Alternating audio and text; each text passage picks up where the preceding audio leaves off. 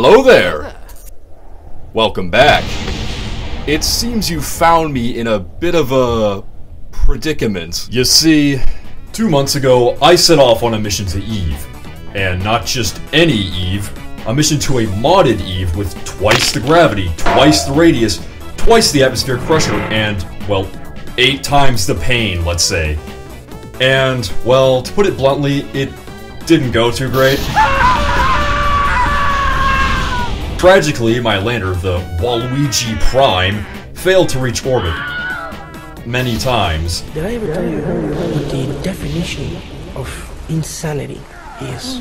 Insanity is doing the exact same fucking thing over and over again, expecting shit to change. And consequently, Rogan Kerman is stranded on Eve and can no longer make episodes of the Rogan Kerman experience. Tragic, I know. But today, that shall change. Today, he shall return. And today, I shall complete the challenge that I set out to do.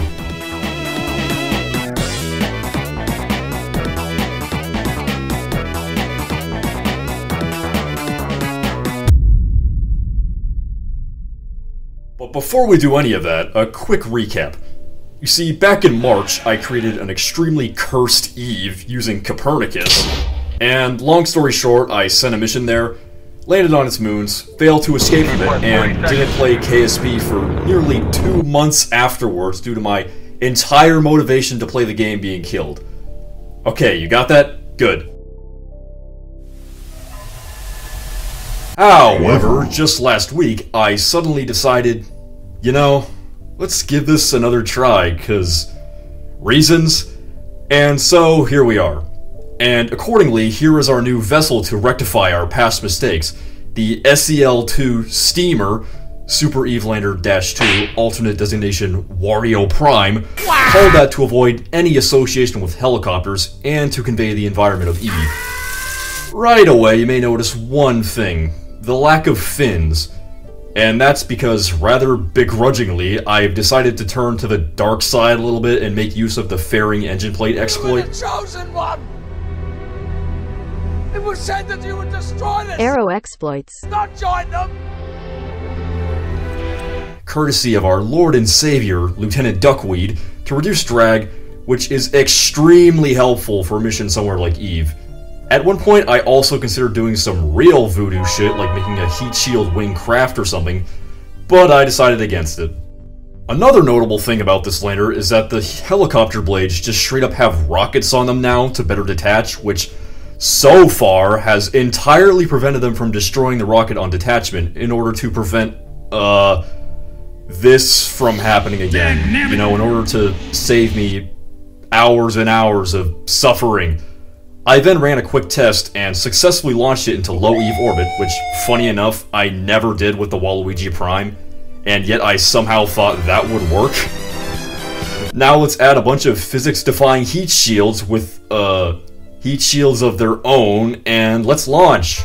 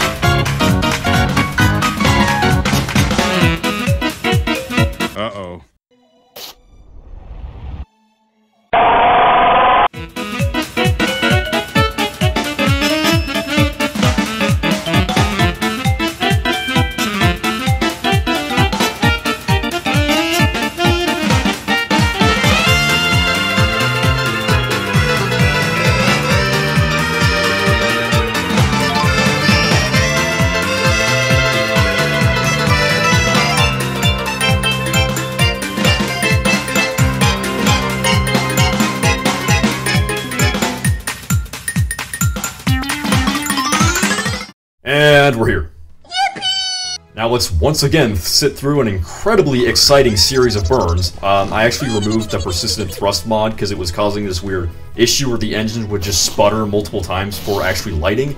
And let's land. probably a few hundred kilometers away from Rogan again, because I couldn't be bothered to do a real pinpoint landing. Whatever. That's why we have the saltine cracker after all. During the descent, I managed to get rid of the heat shield assembly without exploding 100 times first. And, well, would you look at that? I've actually figured out how to hover this thing without dying. Just set the deploy angle to barely above zero. Fascinating! Listen, I fly planes, not helicopters, alright? Now that the steamer is safely on the surface of Eve, let's have Rogan Kerman fly the saltine cracker there. Again. After some initial difficulties in convincing him to go due to his discovery that breathing Eve's atmosphere has a psychedelic effect in very small quantities, Rogan Kerman finally set off for the steamer's landing site, which, rather poetically, is very close to where the saltine cracker had first touched down. Uh, let's check the time. More than five years ago now. Hmm. Upon arriving, we once again went through the whole refueling process and all that good stuff. And then it was finally time to leave Eve once and for all. Uh, fuck, that didn't work. Despite being incredibly stable in testing, the steamer proved to be almost impossible to control after taking off which I later discovered was due to me not auto-strutting everything correctly, apparently. Uh, crisis averted, uh, actually no. Bruh. Oh no. Eventually, after some frustration and reconsideration of my life choices, I discovered that, for whatever reason, one of the propeller blades decided to be a menace to society and had its deploy angle set in the wrong direction, which resulted in it single-handedly causing the entire craft to spin out of control immediately after takeoff. After that whole debacle had been resolved, it was finally time to leave Eve. For real this time. Uh, actually, I'll just cut to the chase and say that I had two failed attempts. Because one time I had to detach the blades early, at an altitude of 13 Ooh, kilometers compared to the optimal altitude of 17 to 18, because I ran out of electricity. And another time I just flew a bad turn and failed to reach orbit and get straight on to the actual ascent, which was by far the single most exhilarating thing I've ever done in this game. Like, hands down.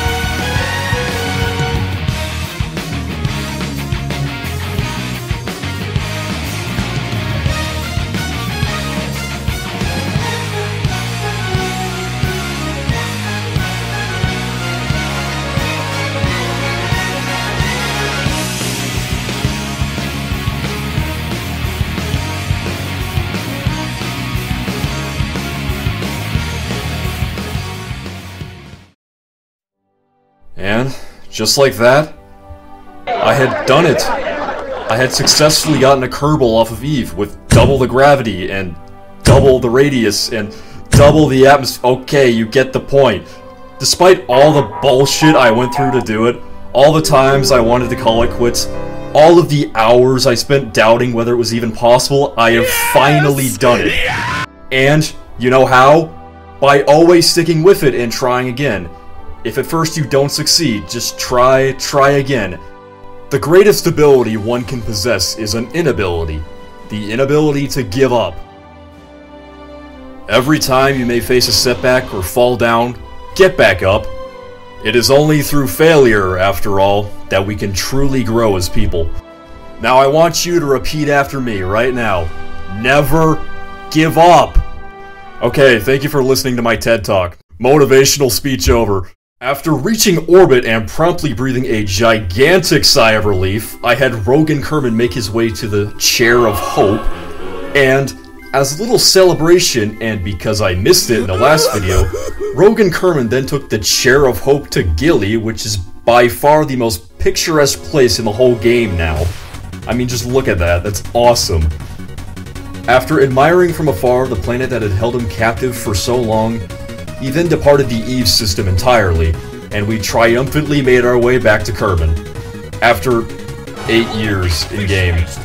Holy crap, man. Rogan, I'm sorry. The amount of podcasts you could have made in that time. Once we reached low Kerbin orbit, a friend of mine suggested that I just deorbit now and land without a parachute, because I removed it to save weight. Originally, I was just gonna send up a small return craft to retrieve Rogan Kerman, but you know what? Sure, Let's go splash down in the ocean with no parachute. Belly flops are fun, after all, and not painful.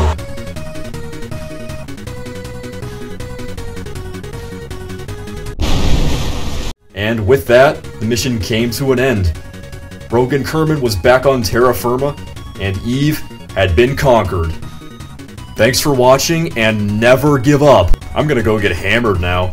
Uh, actually, quick note, the planet pack for this is now public, link in the description.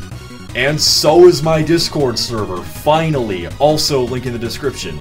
Because I want to run a little competition here to see who can complete this challenge, as well as some other stuff like who can do it with the lowest mass craft, etc.